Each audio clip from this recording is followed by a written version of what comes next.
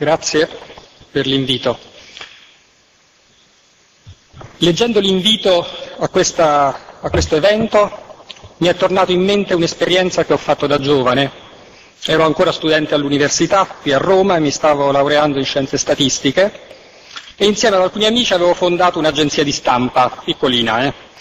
Il nostro motto era se un cane morde un uomo non fa notizia, ma se mille cani mordono mille uomini, questo sì che può e deve fare notizia. In pratica era una parafrasi un po' polemica del classico motto secondo cui un uomo che morde un cane fa notizia ma non il contrario. Eravamo specializzati nella raccolta di informazioni sulle iniziative per la tutela dei diritti dei cittadini e vendevamo le nostre notizie a una trasmissione che forse qualcuno di voi ricorda, si chiamava Mi manda Lubrano. Partiamo da casi di cronaca o iniziative locali e ogni volta cercavamo di associare al singolo fatto quei dati statistici che avrebbero potuto aiutare a capirne l'estensione, quanta gente era coinvolta, che effetto aveva nella vita della gente. Potete facilmente immaginare che mentre non era per nulla difficile trovare e collezionare fatti, eventi, incontravamo grossi ostacoli per trovare i dati statistici che ci servivano per far parlare quei singoli fatti, quei singoli eventi. Mi ricordo un caso di mala sanità avvenuto in un pronto soccorso cui era seguito un intervento del Tribunale per i diritti del malato. Noi volevamo corredare il fatto con il numero di persone che ogni anno passano per i pronto soccorso, che fanno l'esperienza di questo servizio, ma non riuscimmo a trovarlo. E non ci restò altro che decidere in fretta e furia con la redazione della RAI di lanciare un sondaggio telefonico e andarlo a raccogliere esplicitamente, chiaramente rinviando il servizio poi di una settimana. Se dovessi confezionare oggi quello stesso articolo sono sicuro che non avrei nessuna difficoltà a trovare i dati che allora non erano disponibili. Per esempio, potrei andare a cercare quanti sono i ricoveri di urgenza in Piemonte degli uomini in un certo momento, in un certo anno, oppure non avrei nessuna difficoltà a trovare sondaggi sulla soddisfazione degli utenti, ad esempio in Toscana, ho visto che erano facilmente disponibili, oppure siti inimmaginabili allora come questo di Bologna che mi dice in tempo reale quanti utenti sono in fila al pronto soccorso dei vari ospedali cittadini in modo da poter decidere dove andare per attendere il meno possibile. Se facessi ancora oggi il giornalista avrei certamente a disposizione un mondo di dati da utilizzare, da sfruttare. Però col tempo il nostro gruppo si è sciolto, ognuno è andato per la sua strada, oggi non faccio più il giornalista, lavoro invece come statistico alla Commissione europea e per certi versi mi trovo a operare dall'altro lato, dal lato di quelli che debbono aprire, fornire dati e trovare regole, procedure e strumenti tecnici adeguati. Vorrei quindi parlarvi di tre cose, delle norme sul riuso dell'informazione pubblica, delle tecnologie per la pubblicazione dei dati statistici e delle tecnologie per favorire il loro riuso. Cominciamo subito con le regole del gioco e diciamo che su questo fronte la Commissione europea ha svolto un ruolo attivo negli ultimi anni. La direttiva del, 90, del 2003 ha dato un quadro di base per il riutilizzo dell'informazione del settore pubblico e la decisione del 2006 ha applicato questo quadro agli stessi dati della Commissione. Oggi, dopo ampia consultazione, la Commissione ha deciso di riesaminare ambedue questi strumenti legislativi al fine di rinforzarne e attualizzarne alcuni aspetti, i formati per la pubblicazione, le licenze che li accompagnano, i prezzi che è legittimo eventualmente introdurre, nonché i settori di applicazione, ridiscutendo l'opportunità di alcune delle eccezioni che erano state introdotte a suo tempo per il settore culturale e per i risultati della ricerca scientifica. La proposta è in stato avanzato e dovrebbe essere adottata ufficialmente dalla Commissione entro la fine dell'anno. Quindi saprete presto che direzione stiamo prendendo. Passiamo invece adesso alle tecnologie per la pubblicazione dei dati. Per farlo partirò da un esempio concreto, il sito che abbiamo messo online a maggio di quest'anno per aprire i dati statistici che utilizziamo per il monitoraggio degli sviluppi della società dell'informazione, il cosiddetto Digital Agenda Scoreboard, con questi termini inglesi non molto gradevoli. Quindi parlerò di dati statistici, lascerò un attimo da parte tutti quegli altri tipi di dati che spesso si confondono ma che considero abbastanza differenti, che si riferiscono alla geolocalizzazione di luoghi e cose, ai bilanci, agli inventari, i cataloghi, gli organigrammi, tutte cose che fanno parte di questo stesso mondo open data. Questo è il home page del nostro sito che permette di vedere più o meno quanto digital sono i differenti paesi europei, di compararli tra di loro e di vedere a che punto è l'implementazione delle varie policy. In bella vista chiaramente troviamo gli obiettivi, i target quantitativi che ci si è dati a livello europeo in termini di adozione delle tecnologie dell'informazione da qui all'orizzonte 2015-2020 e tutti i documenti politici di riferimento, ma questo esula dall'incontro di oggi. Quello che mi interessa è che in basso a destra troverete invece un link agli open data che in questo ambito eh, abbiamo reso pubblici e stiamo rendendo pubblici. Seguendo questo link si arriva a un piccolo, anche qui, portale destinato a crescere, dove mettiamo a disposizione del pubblico vari dataset. Chiaramente in bella figura troverete i risultati del lavoro di collaborazione che abbiamo con Eurostat e gli istituti nazionali di statistica per produrre indicatori ufficiali annuali sull'uso delle ICT da parte degli individui, delle famiglie, delle imprese, con approfondimenti vari, tematici, revisioni periodiche per tenere il passo con l'evoluzione della tecnologia e con l'innovazione sociale nell'uso di Internet. Per ora sono link a database completi in formato Access. Ci sono poi alcuni dati che produciamo noi stessi, insieme e in collaborazione con le autorità nazionali di regolazione del mercato delle telecomunicazioni, al fine di tenere sotto controllo le evoluzioni di questo mercato dopo la liberalizzazione voluta alla fine degli anni 90. In questo caso il formato è quello di una rozza pivot table abbastanza ad alto contesto, ma di grande interesse per gli addetti ai lavori, data l'unicità dei dati. Stiamo poi centralizzando su questa stessa pagina i dati originali raccolti attraverso studi e ricerche, alcuni ad hoc, alcuni periodici, realizzati per vedere che ne è dell'uso di Internet negli ospedali, nelle scuole, quali sono le opinioni dei consumatori, eccetera. E presto potremmo aggiungere anche alcuni dati non più basati su interviste, ma sull'analisi realizzata tramite robot delle tracce digitali che lasciamo sulla rete. Però lasciatemi dire che con questo fine, sopra, con questo sito, eravamo soprattutto interessati a pubblicare non più su carta ma su web i database contenenti una selezione di indicatori, circa una sessantina per il momento, tra i più significativi per realizzare il cosiddetto benchmarking, ossia la comparazione della performance dei 27 Stati membri dell'Unione Europea.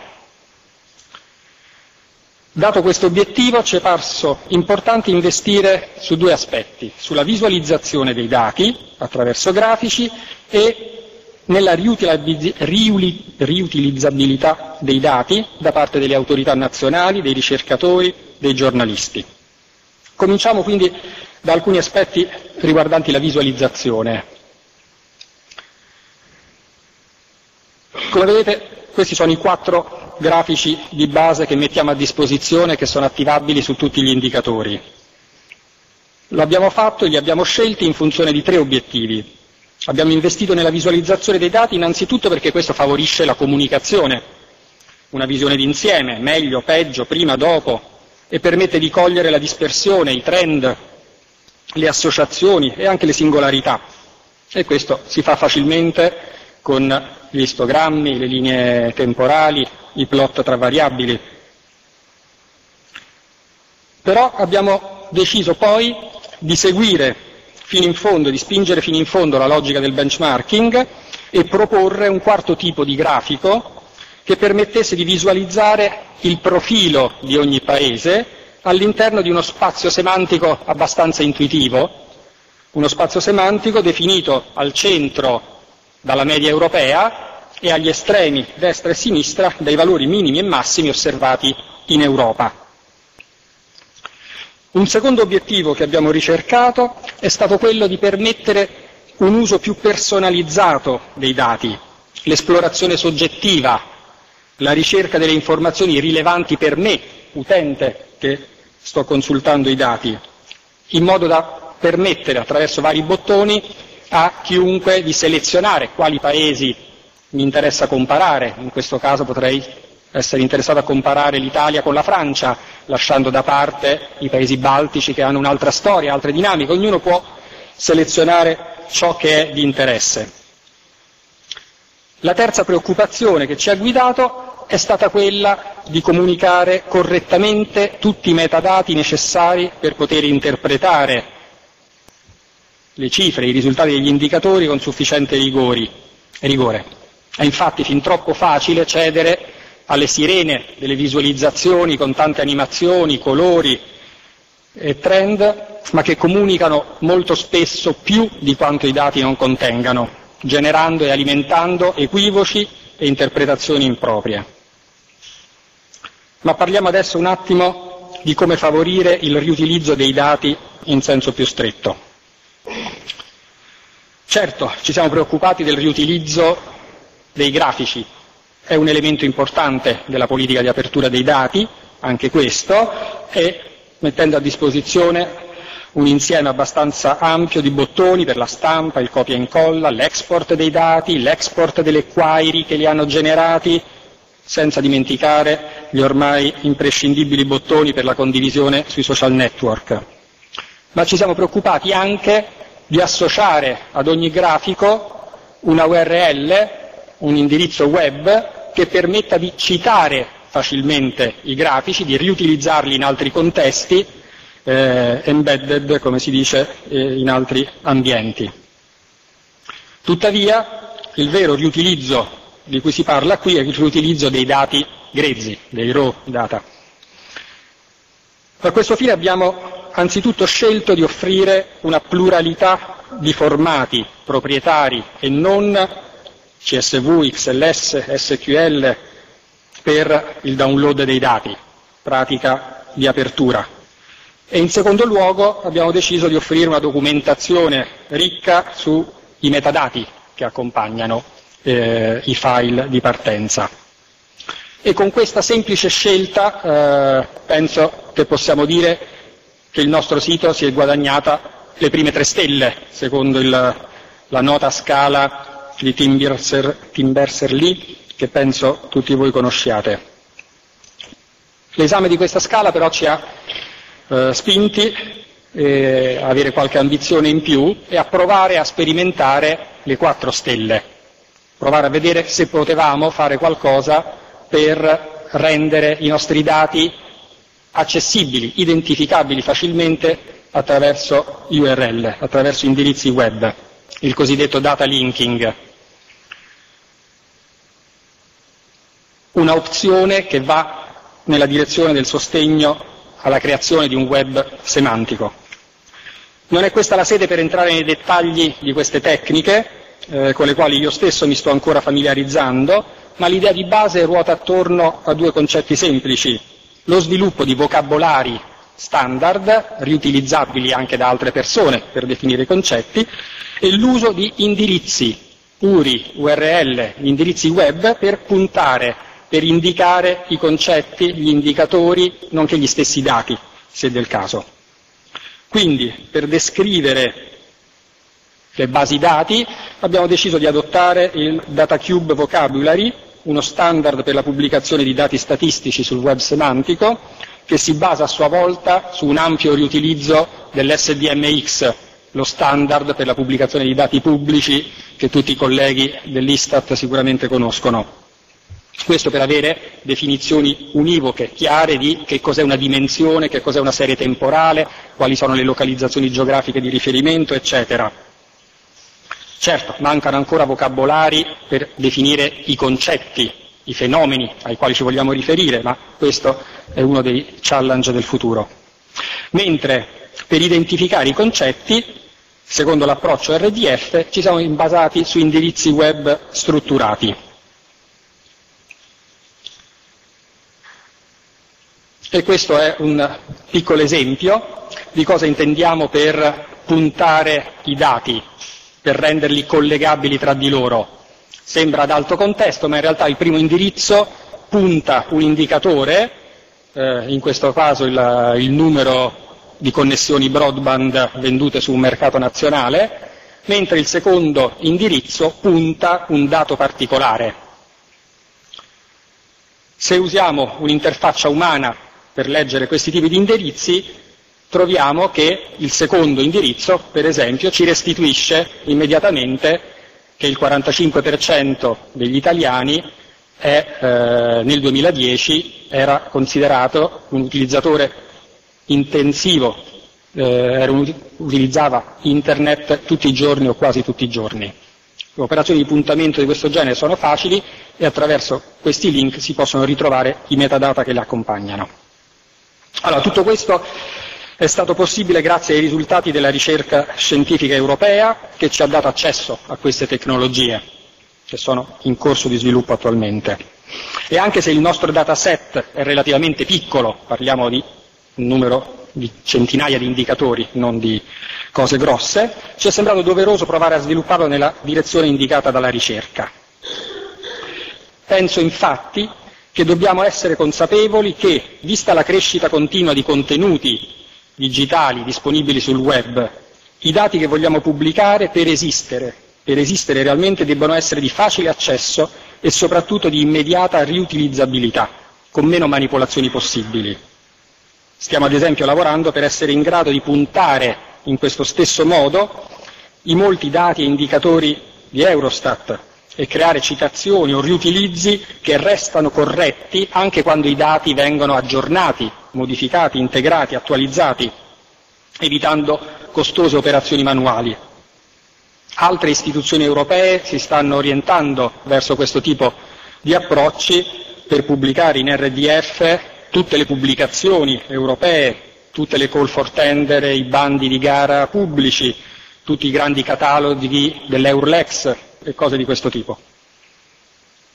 Permettetemi a questo punto di aprire una piccola parentesi sulla ricerca scientifica finanziata a livello europeo, visto che vi ho fatto riferimento, per dire che molti aspetti dell'open data sono attualmente suscettibili di sostegno da parte dei programmi RD che finanziamo.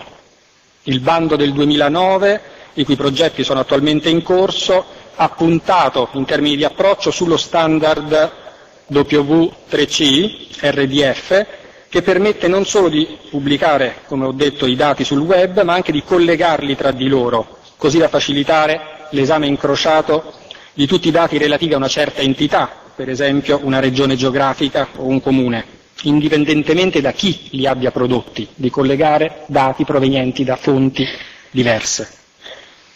Il progetto LOD 2, che sta costruendo una libreria di strumenti per facilitare il data linking, ha anche messo in piedi un servizio di consulenza tecnica che consente ad amministrazioni pubbliche di ottenere gratuitamente un audit delle proprie risorse dati e un piano di pubblicazione di queste risorse nel formato RDF Linked Data, con l'ausilio di software open source accessibili gratuitamente.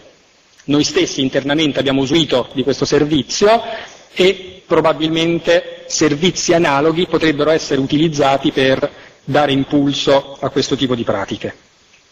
Un nuovo bando è stato lanciato quest'anno con altri 50 milioni, se ricordo bene, sul tema della gestione intelligente dell'informazione al fine di creare istituzioni e piattaforme che incentivino la gestione coordinata dei dati, diminuendone il costo, aumentandone la qualità e molte proposte, quelle ricevute, riguardano il riutilizzo dei dati pubblici. Chiudo la parentesi sulla ricerca e torno un attimo, comincio a riassumere per chiudere. Per favorire il riutilizzo ho menzionato alcuni approcci semplici, puntare su una molteplicità di formati in modo da non essere troppo vincolati, fornire metadati accurati, condizione imprescindibile per evitare eh, misunderstanding, incomprensioni e errori, investire nel data linking. Siamo ancora a livello di linguaggi sperimentali, l'RDF non è uno standard definitivo, ma è una delle migliori carte sulle quali possiamo investire per capire fin dove si può arrivare. C'è un ulteriore approccio che va menzionato in questa sede che è la costituzione di portali. Ne abbiamo appena parlato, abbiamo visto gli sforzi che si stanno facendo in Italia, anche noi a livello comunitario stiamo orientandoci in questa direzione, i prototipi sono già in uh, fase di sperimentazione e nel 2012 per l'anno prossimo contiamo di mettere online il portale delle istituzioni europee.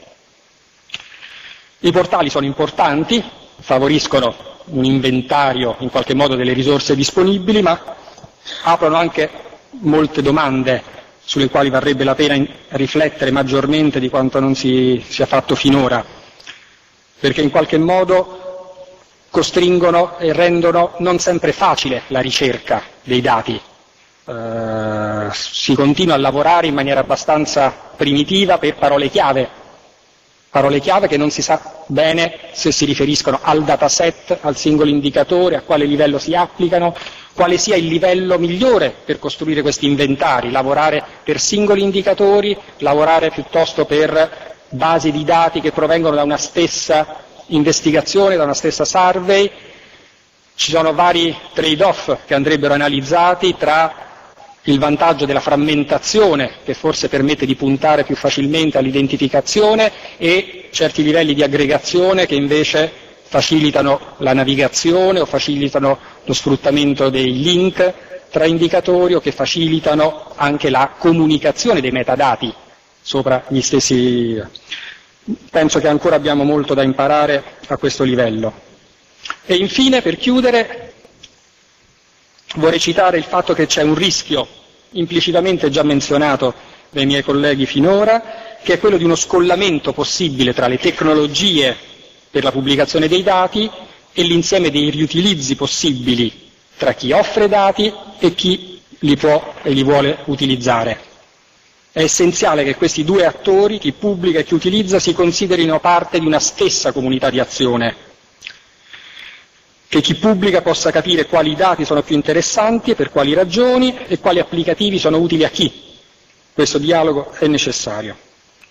Per questo il portale della Commissione conterrà, come già hanno fatto altri, una sezione dedicata alle applicazioni che usano i nostri dati, nonché qualche sistema per raccogliere attraverso blog o altro i commenti e i feedback dei vari utilizzatori.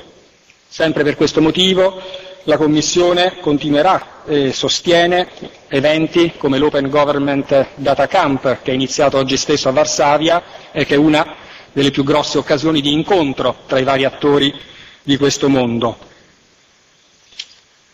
Per i produttori di statistica pubblica, di cui mi considero parte, tutto questo significa imparare a dialogare con nuovi tipi di interlocutori, nuovi tipi di imprese, di organizzazioni civiche, e dunque molto bene ha fatto l'Istat a mettere l'open data al centro della giornata nazionale della statistica, organizzando un evento tipo questo, che spero sia solo l'inizio di una lunga serie. Concludo il mio intervento. Vi ho parlato di alcune delle iniziative europee per promuovere l'open data, nonché dell'esempio un po' particolare ma concreto del Digital Agenda Scoreboard.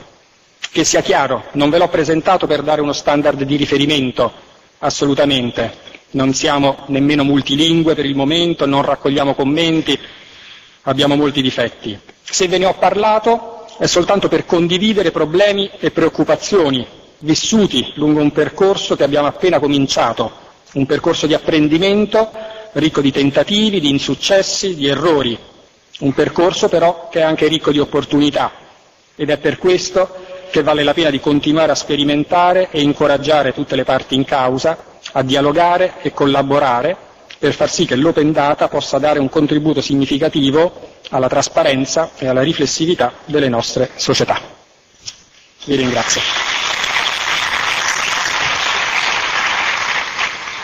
Grazie Stefano per questa esposizione molto interessante e eh, panoramica su queste iniziative. Eh, mi sembra di, che, di, dover sottolineare che ad esempio l'idea del data linking, che sappiamo è importante, eh, ci porta anche culturalmente a pensare il benchmarking in maniera molto diversa, cioè in maniera non statica, dinamica. Io per esperienza eh, negli Stati Uniti ad esempio ho vissuto eh, in contesti in cui la, per la scelta dell'abitazione si prendono insieme tutta una serie di informazioni, ma a livello di quartiere su criminalità, eh, tassi di eh, entrata nel mercato del lavoro dalla scuola di quartiere. Allora mettere insieme e integrare queste informazioni in forma semplice è il modo di restituire l'informazione al cittadino.